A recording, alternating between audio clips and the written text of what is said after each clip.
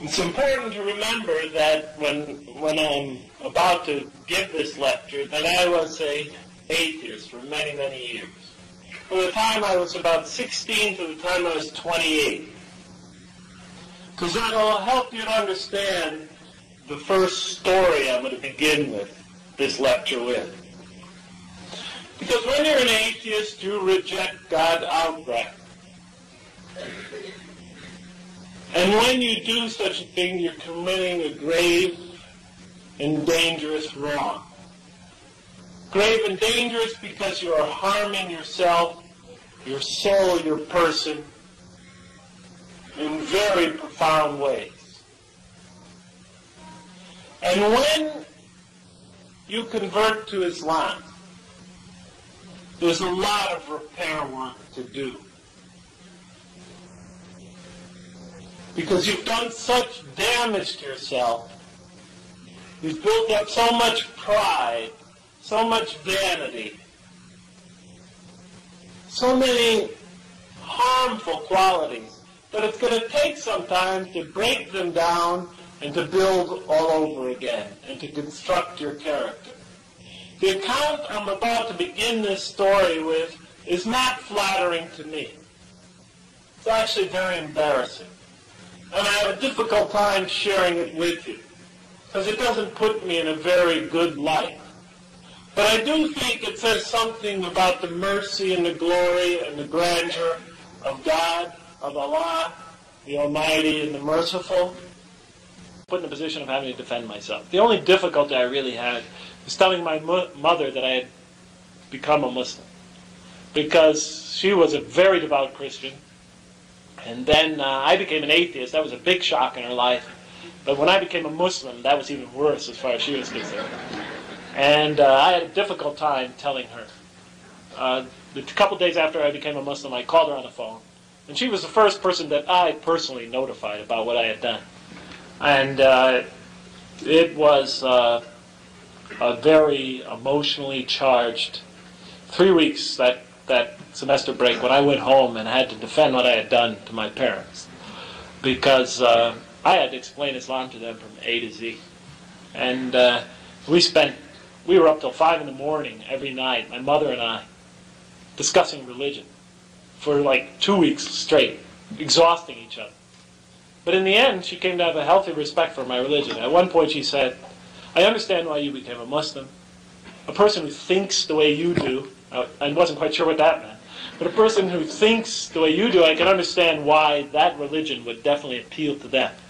And then she said to me, but I'm sorry, son, but I can never become a Muslim. And uh, after that, we agreed to discuss it for a long time, and we did. But finally, she asked me at one stage not to discuss it anymore. And so we just hardly ever discuss it anymore. Unless she brings it up, then I'll discuss it with her. But I'll never bring it up first because she immediately becomes defensive and has a very difficult time with it. So thank you.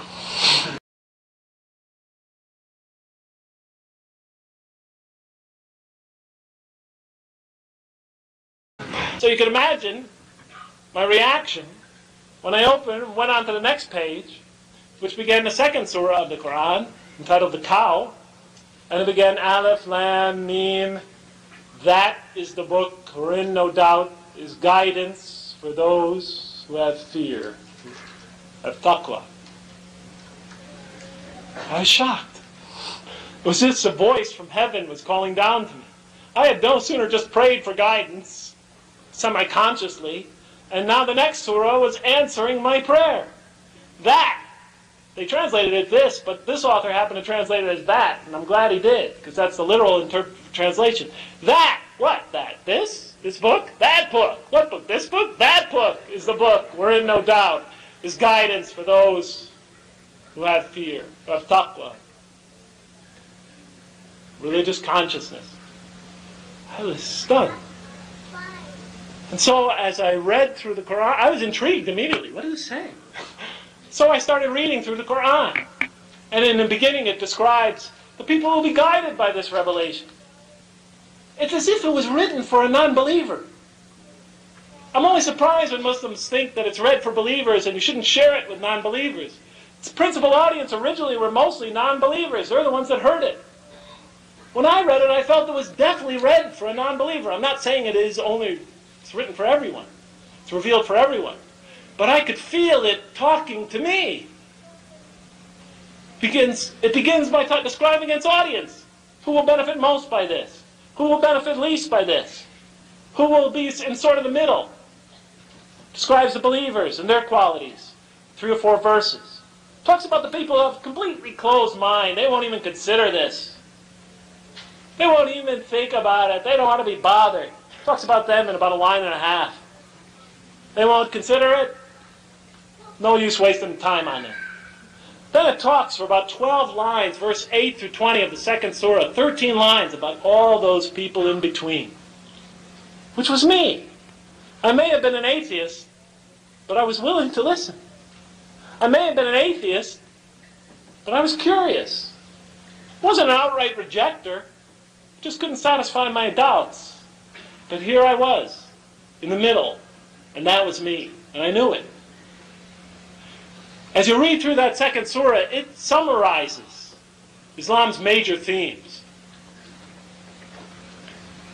And then from there on out, you're sort of hooked. Right? What's your first question? Well, your first question is what's the purpose of life? Why did God create us? Did He put us here just to punish us? You start reading the second surah and it begins to answer that question. The angels ask, why create this being who creates suffering and sheds blood? When we celebrate your praises and glorify your holy name. You know what reaction was when I read that? Wait a minute, that's my question.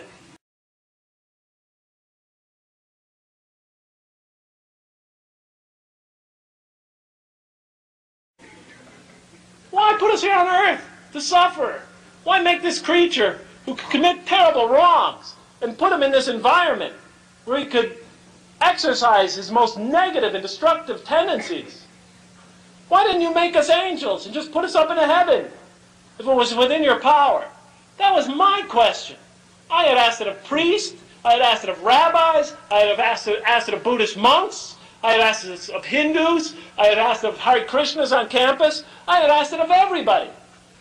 Here I was, not but several lines into the Quran, verse 30 of the second surah, and my question is put there in the mouth of the angels. Slowly but surely, the Quran begins to unravel and answer. And as it does, it takes you through so many different facets and angles of life. It interjects different parts of its message as it lures you into its design. So as I read the Quran and proceeded along, I was trapped. It was written, I felt it was written perfectly for a non-believer. And so I would very much encourage you, if you have somebody, and he is honestly interested in Islam but feels he doesn't have the time, point him in the direction of the Quran. A good interpretation, one that you found that you trust in English, and get him in that direction. Nothing is more powerful in showing people the way to Islam than the Quran.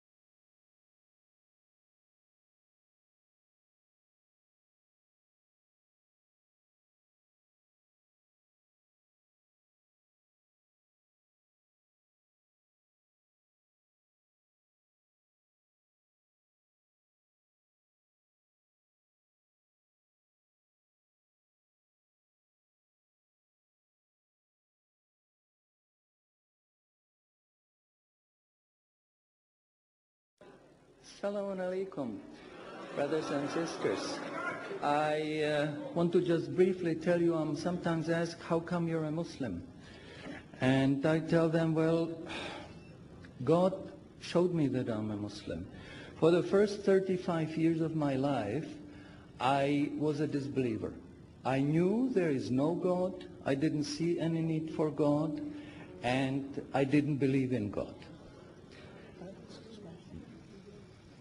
السلام عليكم. بدأ بتحية الإسلام وبدأ يسرد قصته في اعتناق الإسلام. لقد مر عليه 35 عاما من حياته لم يكن مسلما ولم يكن مؤمنا بالمرة. But ever since I was small, I was interested in science. And as my knowledge of science grew, 25 years ago, in basically a flash, I came to the conclusion that the universe is so perfectly made and everything so perfectly matches together that there must be God. So in one second, I went from certainty there is no God to certainty there must be God and only one God.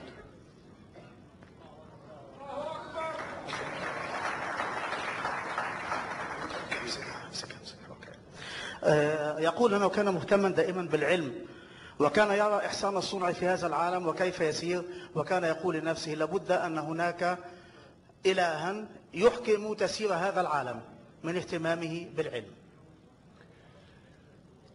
So I accepted there is God. I said, Ashhadu alla ilaha illallah. وبذلك أدرك أن هناك إلها وشهد الشهادة But I was not looking for a religion. I thought all religions are wrong. Christians say this is one. The Jews said Jews are chosen people, and if you're not Jew, you're not, not, not chosen. And about Islam, I only had negative information. هو آمن بالله ولكنه كان يرى أن ليس هناك من دين صحيح حتى ذلك الوقت فالمسيحية تقول هؤلاء الثلاثة واحد واليهود يقولون هم شعب الله المختار ولكنه أدرك أن هناك إله أن هناك إلها ولكنه لم يكن يعرف شيئا عن الإسلام حتى ذلك الوقت But I didn't want to stay ignorant about religions. So I said, okay, I, I read Bible. And I saw in the Bible there are places which you know come from God. You feel it in your heart. But you see there are places which come from man. Because this page says something that is opposite to the uh, thing that was said few pages ago. So I knew that Bible was written by man many years after the prophets. قرر أن يتعلم عن الأديان وبدأ بقراءة الإنجيل ولكنه وجد في الإنجيل شيئا يلامس قلبه فأدرك أن هذا من عند الله من كلام الله الصحيح والصفحة الأخرى من الإنجيل تناقض ما قالته الصفحة الأولى فأدرك أن هناك الكثير من الكتابات كتبت بعد سنوات وأعوام طوال من الرسل And I bought a Quran, English translation of the Quran. And when I started reading it, I started reading it with the same idea that just like Bible, it was written by man. Only in this case, we know the name of the man, Muhammad. ولكنه بدأ يقرأ القرآن وكان ظانا أنه يقرأه كما قرأ الإنجيل أو الأناجيل من قبل ظنا منه أنه سيجد به بعض الأجزاء من عند الله وبعضها الآخر كتبها إنسان ما عرف اسمه محمد And then when I was maybe about one third in Quran, I remember telling my wife, you know, this Muhammad, he must have been a very smart, very intelligent man because this book is very clear, very logical, very easy to follow, and there are no contradictions. في ذات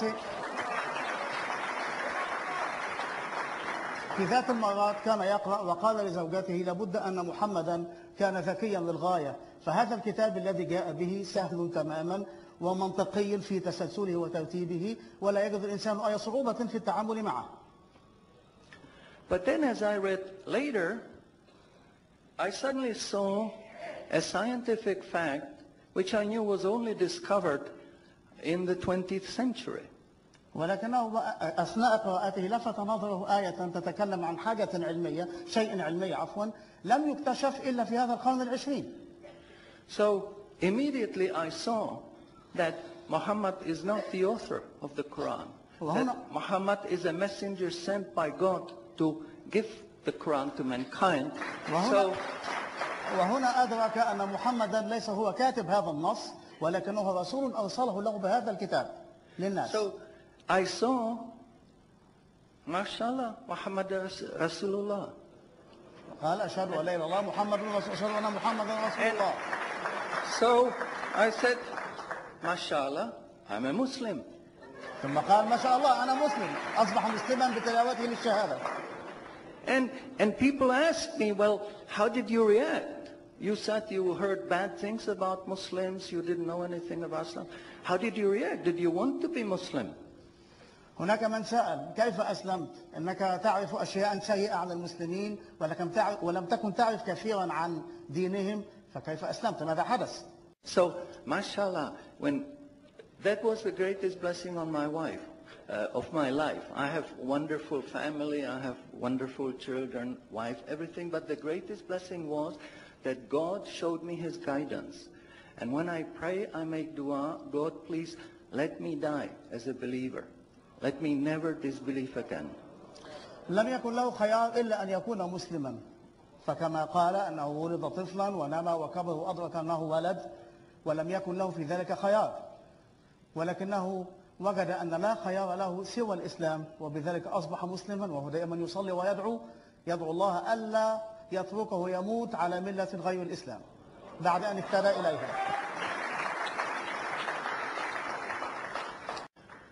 In closing, I would like to thank the organizers for making this conference possible. في الختام يريد أن يشكر القائمين على تنظيم هذا المؤتمر. بأن خرج على هذا المستوى على هذا I النحو think conferences like this are extremely useful, وهذه المؤتمرات أعتقد أنها مفيدة ومجدية للغاية but I would like to appeal to the organizers that they do not make these conferences only in the Middle East. I think conferences like this should be made in London, in Frankfurt, in Paris. ولكن